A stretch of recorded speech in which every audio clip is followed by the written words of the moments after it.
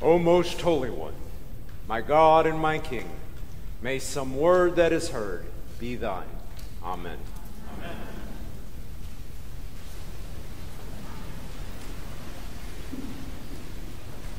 In the name of Jesus Christ, I'd like to bring you greetings from your siblings of the 136 churches of the great, historic, and faithful Episcopal Diocese of Pennsylvania Know that we journey with you.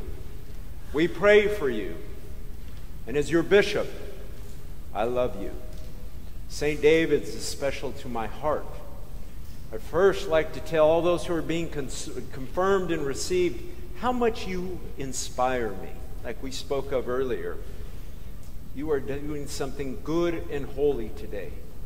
And for all those who have journeyed with them, my gratitude for being companions. And then, my dear friend Frank, it is a blessing to serve with you. And I thank the clergy, Liz, Maurice, Emily, for being faithful shepherds of this beloved flock. Thank you. I ask you to reflect on four questions Who are you? What gives your life meaning? What is your purpose in life? And the most crucial question ever asked is the one Jesus asked his friends Who do you say that I am? If Jesus were to ask you personally this question today, how would you respond? We'll get back to your answer in a little bit. You do not often find a movie that touches philosophical, sociological, psychological, and theological depths. I found one a few years back Hostiles. It is a brutal, and let me warn you, it is a brutal movie, but it's also a beautiful movie. It is a movie that portrays humanity at its worst prejudice, violence, and depravity.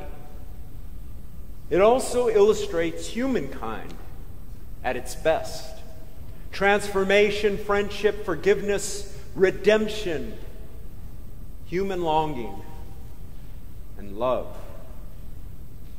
It is set in 1892 in my beloved New Mexico. And the movie begins with a quote from D.H. Lawrence The essential American soul is hard, isolate, stoic, and a killer. It has never yet melted. Those words, when you hear them, they are jarring because it makes you reflect on who God created us to be. The story's arc is centered on a battered and respected Army cavalry captain nearing retirement. He is tormented by demons, and he is sent on one final mission that he angrily attempts to resist. He must escort a bitter enemy, a dying Cheyenne chief, and his family to their former home in Montana. These enemies hate one another. It is vile. And their history is one of both inflicting terrible violence and cruelty on the other side. And they see each other not as humans, but something less than human. So, in their journey as a group, they face together horrific trauma and indescribable loss. Through their shared suffering, they begin to see one another differently.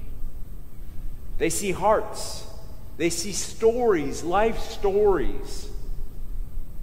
They see faces in humanity.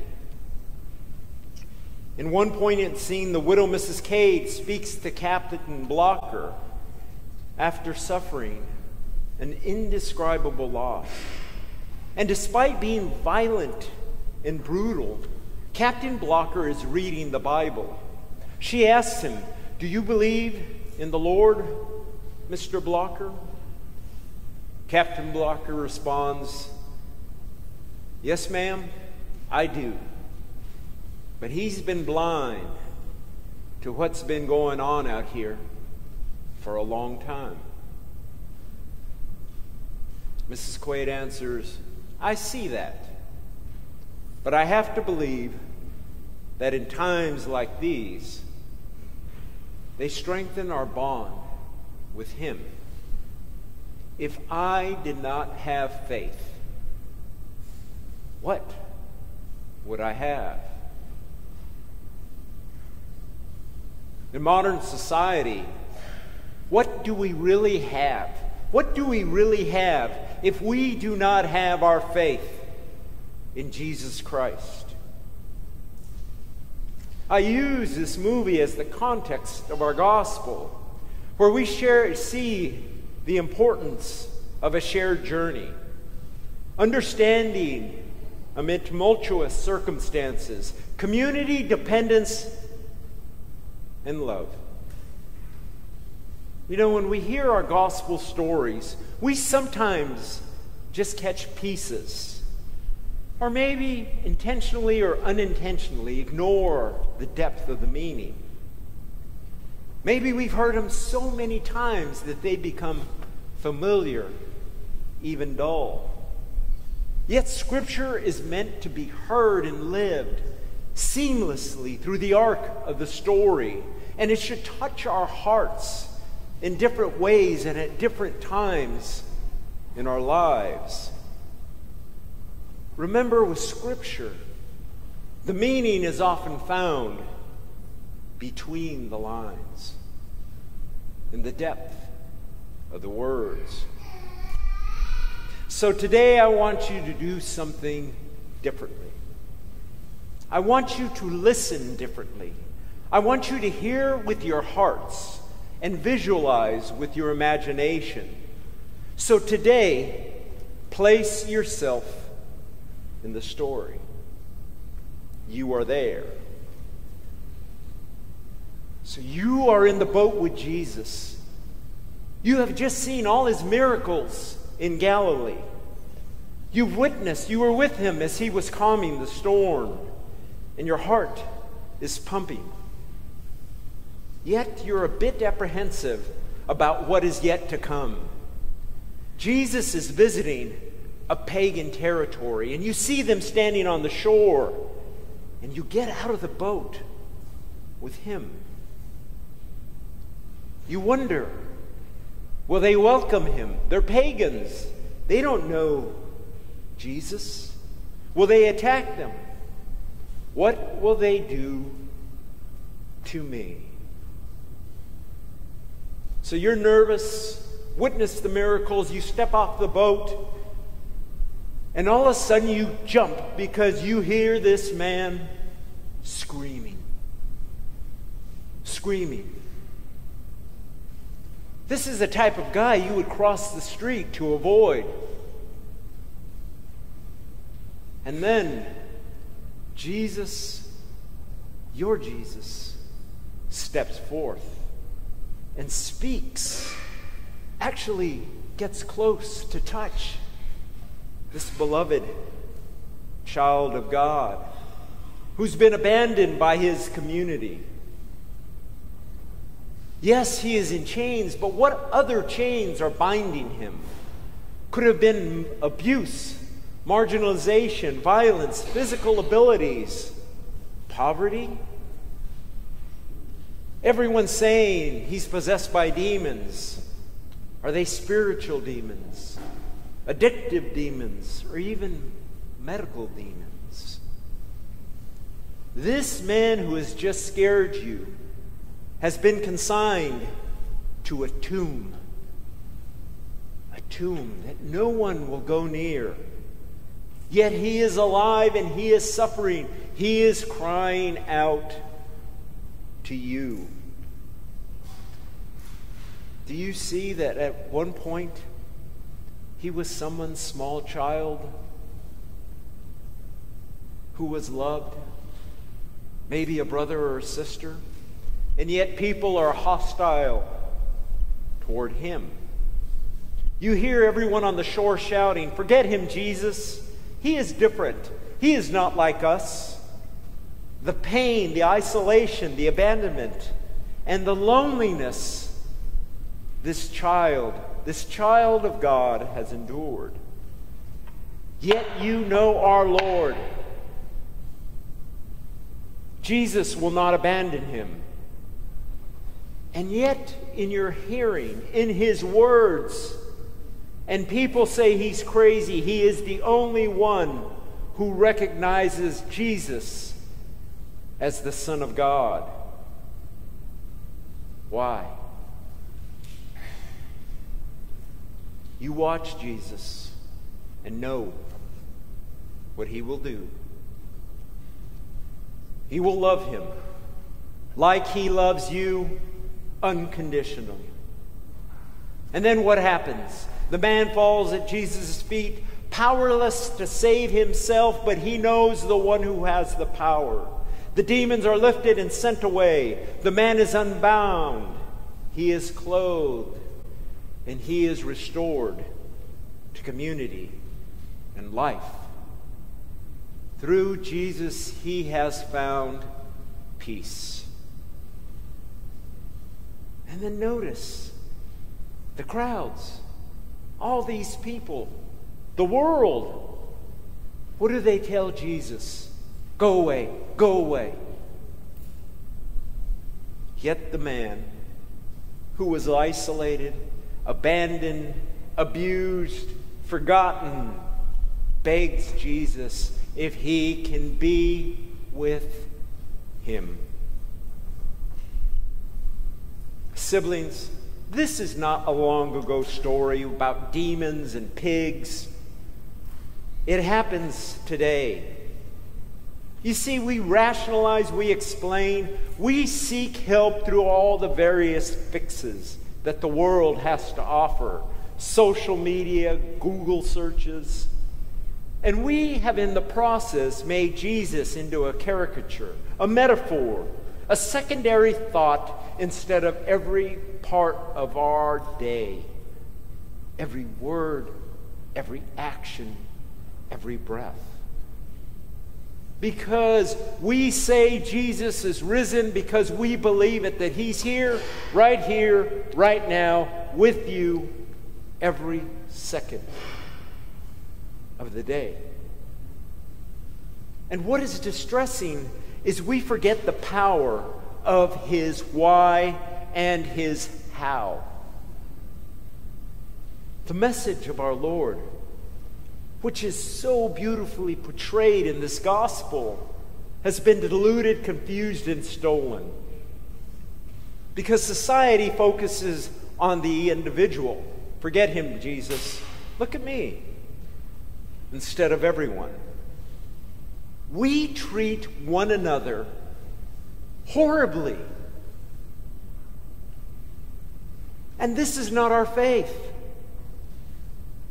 As those who carry the name of Jesus Christ, Christians, we must reflect and live His truth, which is hope, which is healing, which is forgiveness, courage, kindness, generosity, listening, compassion, inclusion, and love.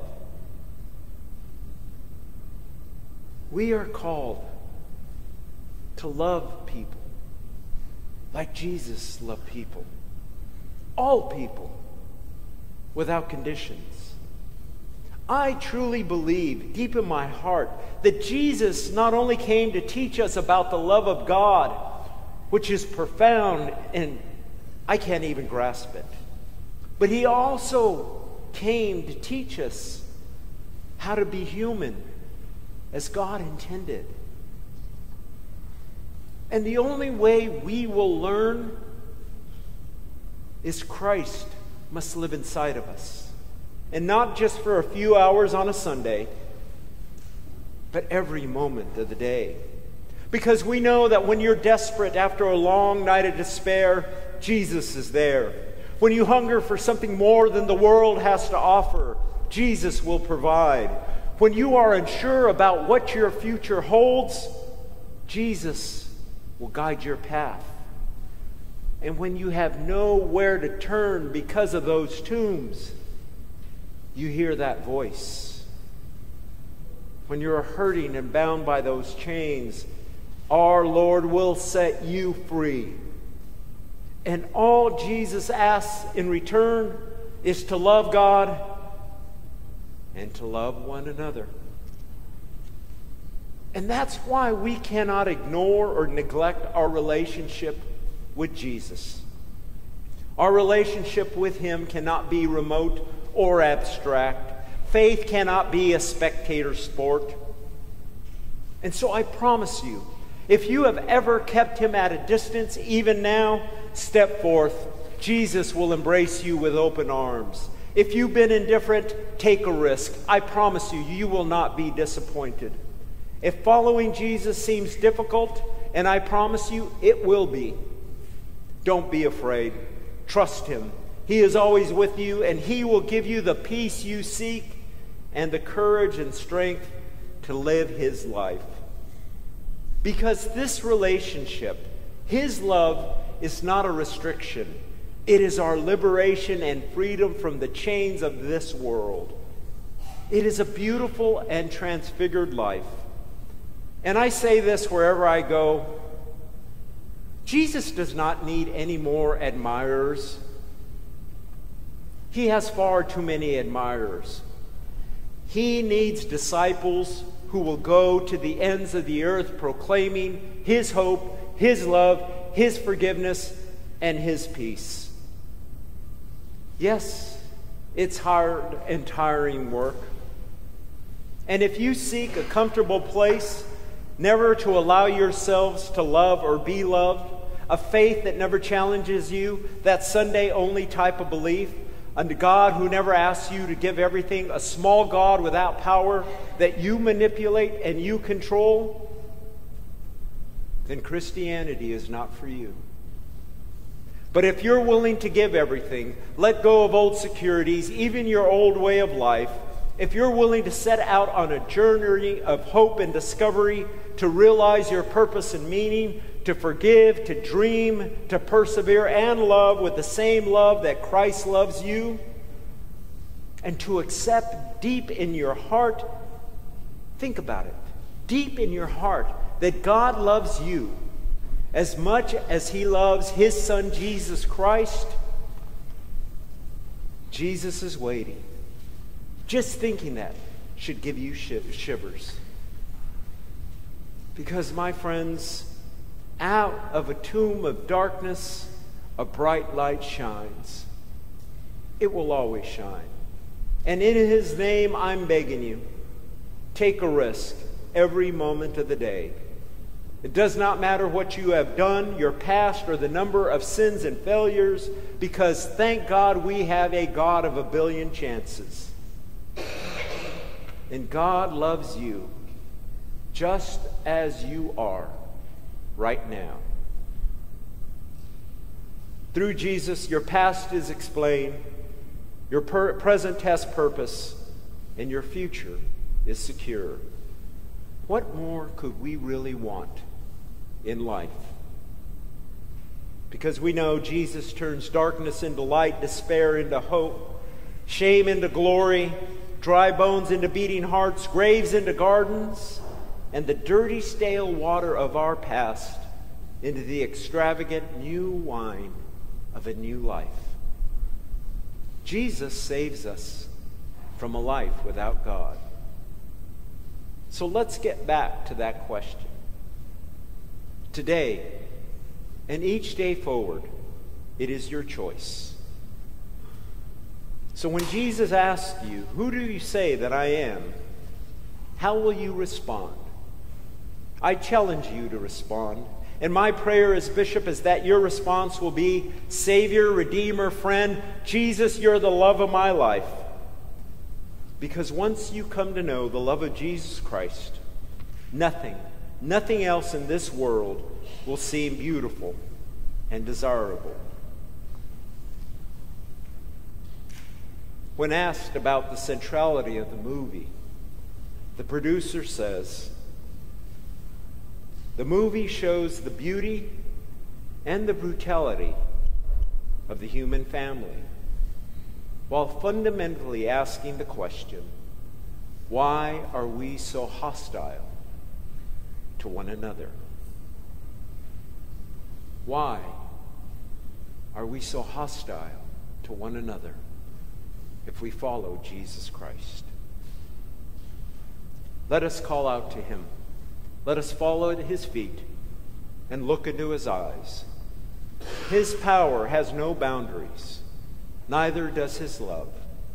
We are all, my siblings, on this journey together. Together.